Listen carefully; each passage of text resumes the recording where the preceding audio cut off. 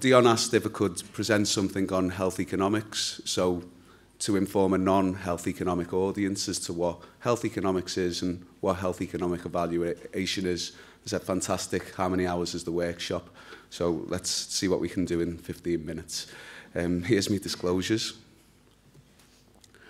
Okay, so health economics is a very basic, conceptually it's a very basic thing. It's, it's pretty straightforward. Um, and when we think about health, um, it's, it's an applied situation. So first of all, we need to think about what is health. So healthcare we can define as a demand. It's a demand on the system. And the healthcare system is solely in place in order to provide better health. It's, yes, it's not rocket science. And fundamentally, like any other market, like gold, oil, um, currencies. It's just a commodity that's traded in different ways.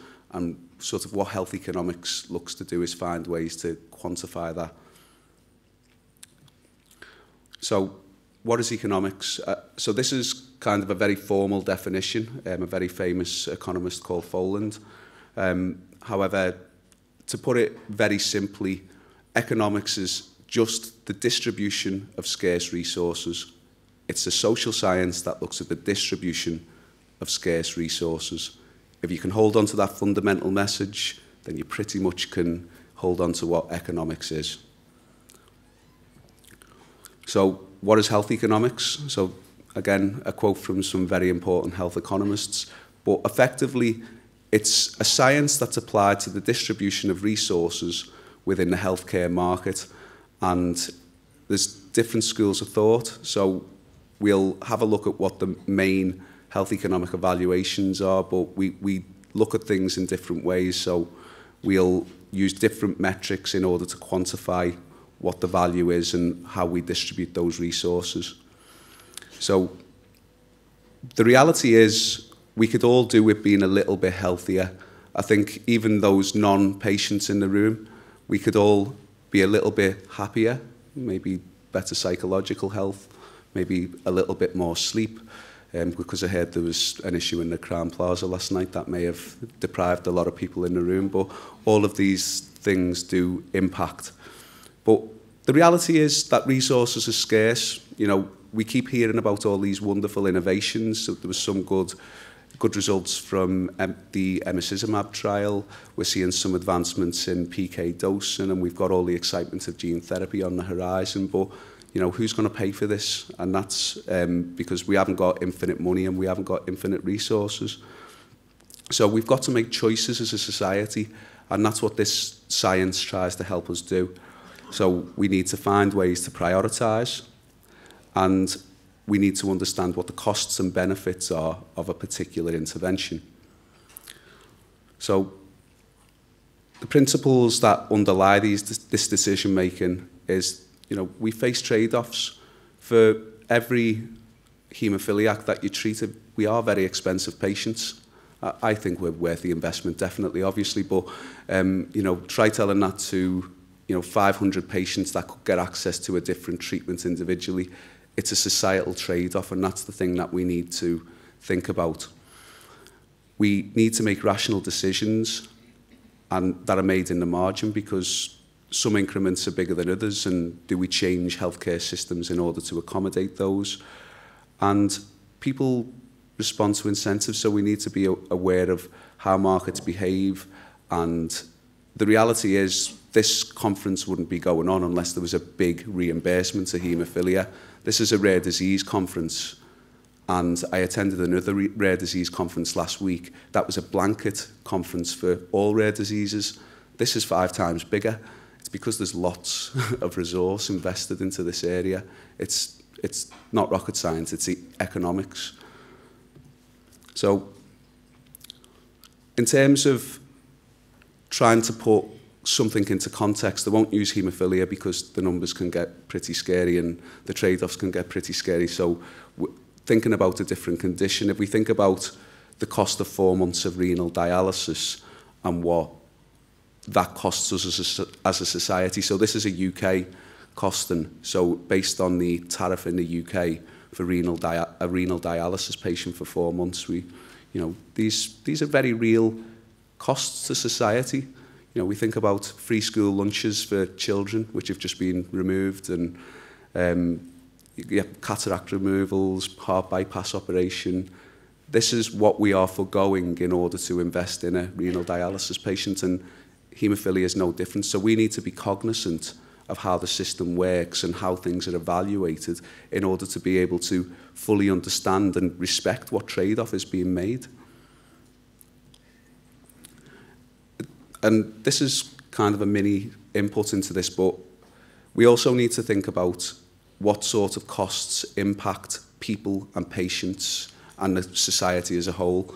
So the first two costs, so, sorry, the top cost, which is direct medical cost, is usually the thing that we look at most, particularly in haemophilia at the moment, but also lots of other conditions. Whereas something that really is underserved and under-acknowledged when we think about healthcare interventions is what is the impact to society and what is the impact to a patient themselves when they leave the healthcare setting? Are they losing work? Are they losing, um, are, are, do they have a caregiver that's also losing productivity? And that's, Mark presented earlier, and we, we're starting to dig into what are those softer outcomes and what are those, those other things that really do impact the patient. But just to be clear, these things are not usually integrated into the HTA assessment in many countries. I think Sweden probably leads the way on that. So in terms of health economic evaluation, so this is my life's work in about four slides, so bear with me. Um, so we, there are four main methods of health economic evaluation. The first being cost benefit analysis. So this is kind of probably the area where I specialize in most. It's cl most closely linked to um, burden of illness or cost of disease studies. And basically, it's, it's a very simple, what does what is the cost versus the benefit of a particular intervention or service that's employed to treat a certain patient cohort. And that's pretty much it. And the final output is what the benefit or cost is in terms of money. If it goes into positive, it's a good investment. If it doesn't, it's pretty bad. Well, or worth it, depending on the value, which is, sorry, what we're all here to understand. Um, so the, the other one, and I think this is something that was particularly important in haemophilia. So cost minimization analysis is where it, it's employed when you have homogenous products in a, in a, in a single market. So if you've got homogenous products, the most logical way to ensure that you get the most value for your public investment is to do a cost minimization analysis. In other words, who can give me their homogenous product most cheaply? This has been hugely successful in haemophilia and particularly in the UK.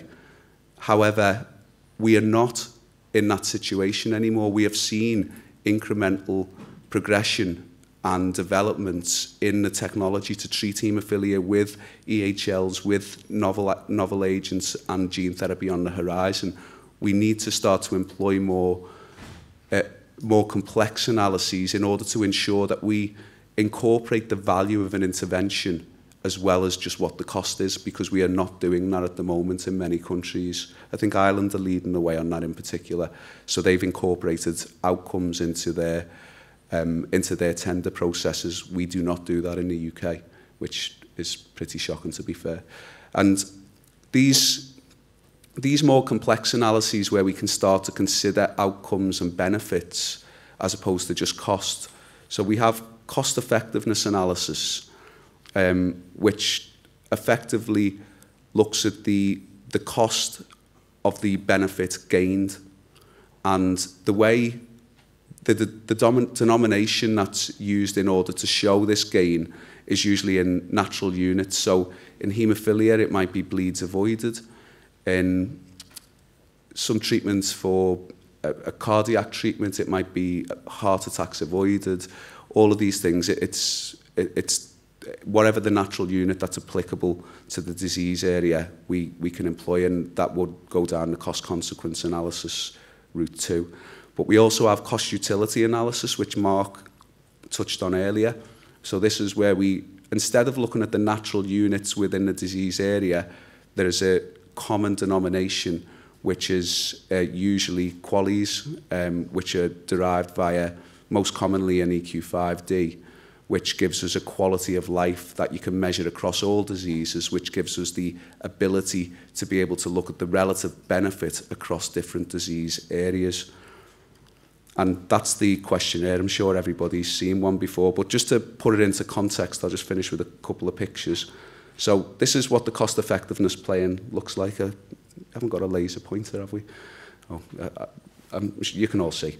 So this is the this is the cost effectiveness plan. So we've got the on the horizontal axis, we've got the incremental costs. So if we imagine that the current standard of care is where the intersection of the two crosses is. And we've got the incremental cost going up and the incremental gain going to the right. The quality's there for illustrative purposes, but it might be heart attacks, it might be a hypoglycemic episodes, whatever it is, but this is just to illustrate. So if we if the treatment is better and less costly than the previous than the current standard of care, then you fall into the bottom right of the cost effectiveness plane. So it's more beneficial and it's cheaper. And so that's good. I was challenged to try and fit Fonzie into a presentation and I've done it.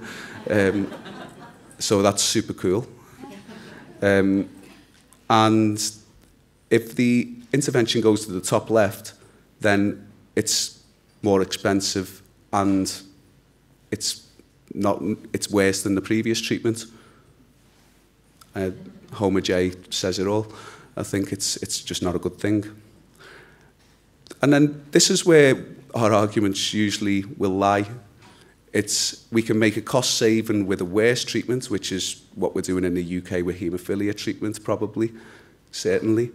Um, or we could um, or, or we can see a, a better treatment that might be of a higher cost. And this is where the complexity comes in and where the arguments will happen and where evidence is challenged. And that's where we are definitely going to be playing in haemophilia, which is why it's very important for us to have a fundamental understanding of what this is, but also what we need to do in order to support it from a data standpoint moving forward. So that's health economics in 15 minutes.